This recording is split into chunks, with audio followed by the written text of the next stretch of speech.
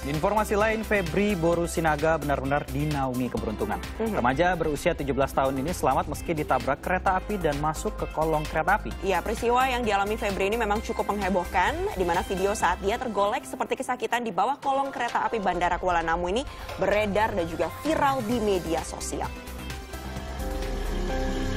Inilah video amatir yang sempat viral di media sosial. Terlihat seorang wanita bernama Febri Boru Sinaga, warga Jalan Martapura Medan, Sumatera Utara, tergolek di kolong kereta api tujuan Medan Bandara Kuala Namu Kamis lalu. Sejumlah kabar simpang siur menyertai video itu. Ada yang menyebut ia adalah pengendara yang menerobos perlintasan kereta api. Ada pula yang menyatakan ia meninggal dunia. Kabar burung pun terjawab. Di rumahnya, Febri Boru Sinaga terbaring lemas usai dirawat intensif di salah satu rumah sakit. Kejadian naas itu berawal saat Febri usai menjemur pakaian dan dirinya berjalan di tengah bantaran rel kereta api. Saat itu pula, kereta api jurusan Medan Bandara Kuala Namu melaju dan menyeruduk Febri. Febri pun tergolek di kolong kereta api.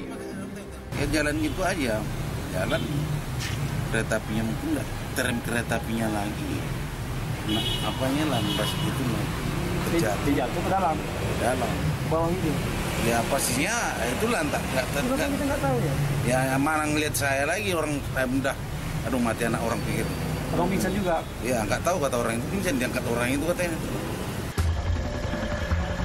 Maut hanya Tuhan yang tahu. Nyawa Febri pun selamat. Remaja ini mengalami luka kecil di bagian kepala sebelah kanan dan dagu. Yono Syaputra melaporkan untuk NET.